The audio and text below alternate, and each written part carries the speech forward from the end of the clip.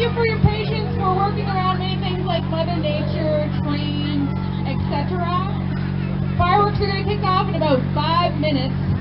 Um, there might also be a train go by at that time.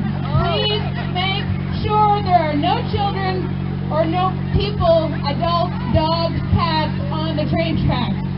Thank you. Also, enjoy. You to our volunteers. And we hope you've had a most wonderful time.